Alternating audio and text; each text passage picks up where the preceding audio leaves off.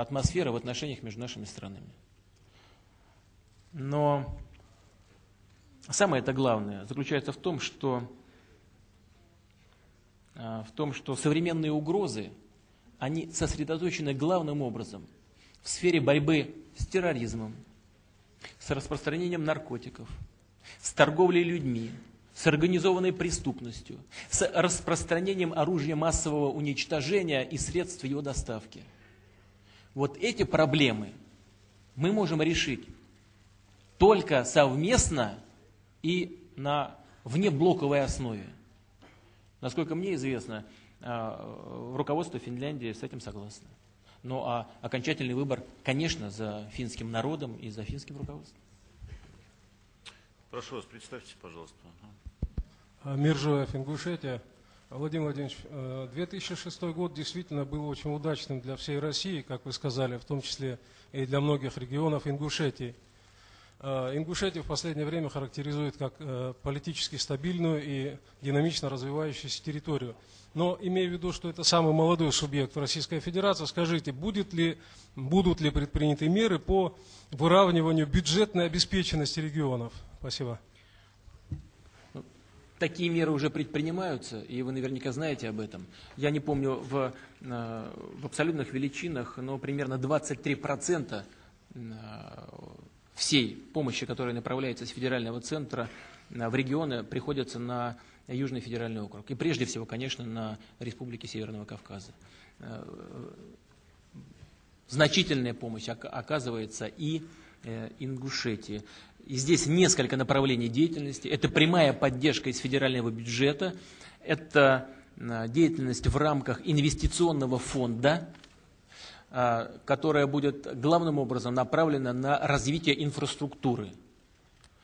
И я очень рассчитываю на то, что все эти, а, все эти направления деятельности, в том числе и осуществление национальных проектов, а здесь мы должны действовать совместно с субъектами Российской Федерации, все это приведет к изменению, кардинальному изменению на ситуации в Ингушетии, на всем Северном Кавказе. Главная задача, задача, как мы с вами знаем хорошо, это создание новых рабочих мест.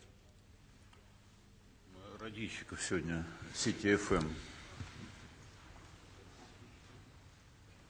Кстати говоря, вот покушение на, на муфте в Ингушетии, Э, я внимательно смотрю за тем, что там происходит, лишний раз говорит о том, что а, проблемы борьбы с терроризмом и с преступностью еще далеко у нас в стране не решены. И лишний раз подчеркивает, что а, люди, которые совершают такие преступления, у них нет ни совести, ни чести, ни вероисповедания. Будем продолжать самым активным образом пресекать деятельность подобных преступных группировок. Мил, пожалуйста.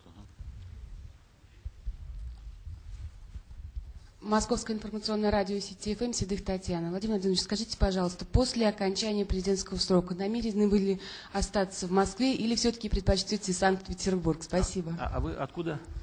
Москва. Москва хороший город, мне нравится. Спасибо. Пожалуйста, в белом свитере, во втором ряду, в светлом свитере, коллега. Андрей Белкин, областная телерадиовещательная сеть город Новосибирск. Владимир Владимирович, у меня вопрос, связанный с законодательством. Суть в том, я думаю, что не только в нашем регионе, но и в других есть проблема вдов и детей, погибших в локальных войнах. Сегодня законодательство изменено и трактует так, что, э, допустим, льготное какое-то обеспечение может получить э, только та семья, да, где ну, моложе 18 лет. Потому что там приравнены, сейчас скажу, как правильно называется, одиноко проживающие. Когда человеку, допустим, ребенку исполняется 18 лет, у них автоматически забирают все льготы. Неважно, двое э, в семье детей, трое, неважно. Но семья, по сути, обречена. Ну, так, по большому счету. У меня э, вопрос э, вот в чем. Будет ли государственная поддержка вот именно э, вдовам и детям погибших в локальных войнах? Э, поддержка оказывается. Когда вы говорите о тех, кто достигает возраста 18 лет, это по действующему законодательству уже взрослые люди, да, и, и законодатель исходил из этого соображения. Насколько мне известно, а информация, которой я располагаю, очень близка к истине, и Министерство обороны, и Федеральная служба безопасности, и Министерство внутренних дел э, очень внимательно относятся к семьям своих погибших сотрудников.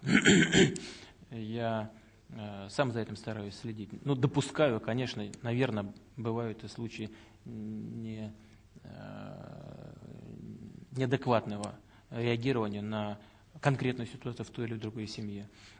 Что касается поправок в законодательство, то я лично готов поддержать любые поправки, которые будут направлены на обеспечение интересов семей погибших наших воинов. Любые поправки. И э, нужно только, чтобы э, законодатель и соответствующие ведомства вышли с обоснованными предложениями. Коллега из, Бин, из Минска, пожалуйста. Во вообще должен сказать, что мы, мы, конечно, в долгу перед этими людьми, в долгу перед этими, перед их семьями, потому что в самый сложный период становления новой российской государственности они своим телом закрыли Россию и помогли ей выстоять в самый трудный период времени становления страны. И наш просто священный долг, не, не хочу бояться высоких слов, священный долг сделать все для того, чтобы поддержать Э, семьи погибших и э, помочь тем людям, которые получили ранения либо увечья. Пожалуйста, пожалуйста. А, Ольга Тарасевич, еженедельник обозреватель, город Минск. Владимир Владимирович, скажите, пожалуйста, как спасти союзное государство?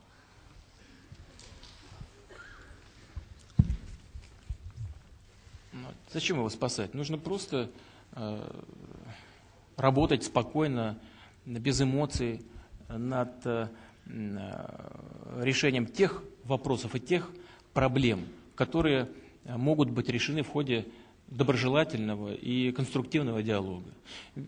У нас э, постоянно меняются понимания того, что мы э, могли бы считать союзным государством. Вы и сами наверняка об этом хорошо знаете. Э, мы неоднократно слышали от э, белорусского руководства, что э, белорусской стороне импонировало бы объединение по советскому образцу. Ну, если это так, то мы должны, ну, давайте по-честному скажем, что такое по советскому образцу.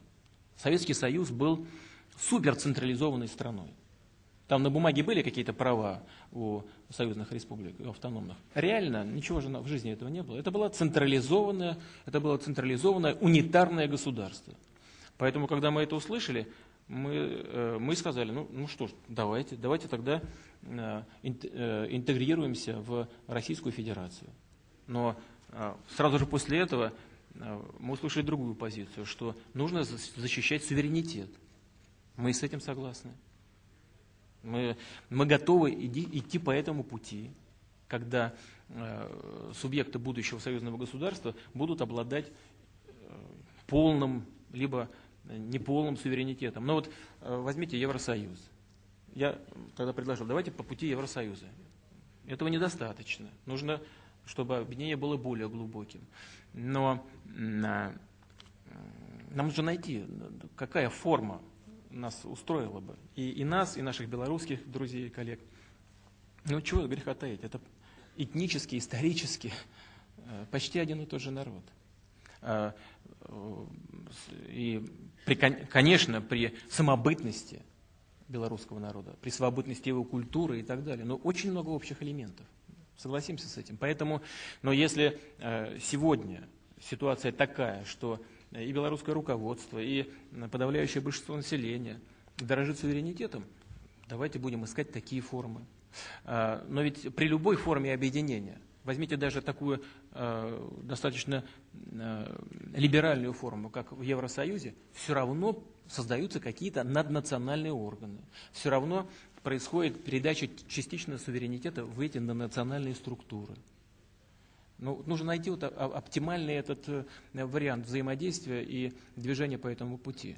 Мы э, за обсуждение любых приемлемых, повторяю, вариантов создания союзного государства, приемлемых для белорусской стороны. Важно только, чтобы это не привело к какому-то хаосу внутри наших стран.